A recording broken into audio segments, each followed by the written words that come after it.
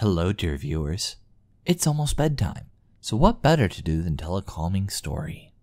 Let's begin. Once upon a time, in an ocean far away, there was a seven armed squid aptly named Squidget the Seven Armed Squid. Squidget was a lonely squid, not because he was a loser, or bullied, or even guilty of tax evasion. Currently. No, Squidget's crime was being a door to door salesman of bottled water and being really fucking annoying about it.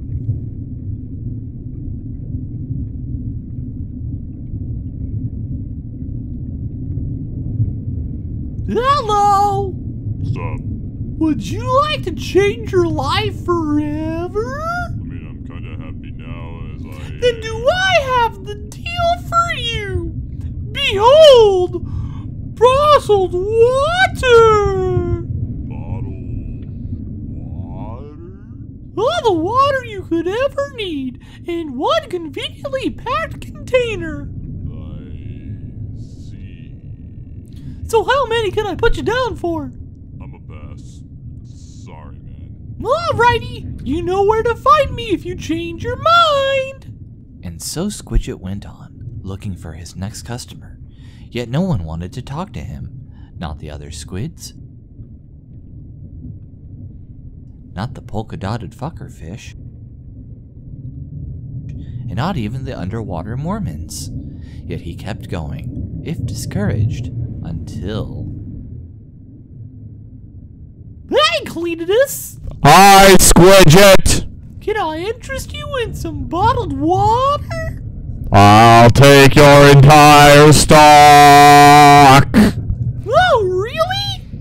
Yes, I wish to eat them and die.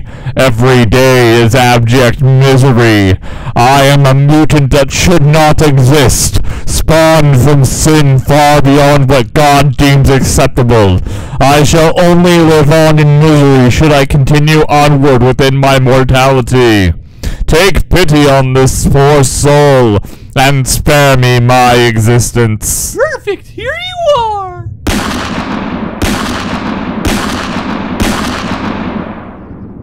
Pleasure doing business with ya! And though he made the sale and stole Cletus' wallet, he was still in debt to the multi level marketing recruiter that sold him the water to sell anyway. And so Squidget went on to suffer crippling debt and died alone, and not mourned one bit. I hope you enjoyed the story tonight, and remember the moral of the story don't fall for an MLM, because people will hate you and you'll die alone. See ya.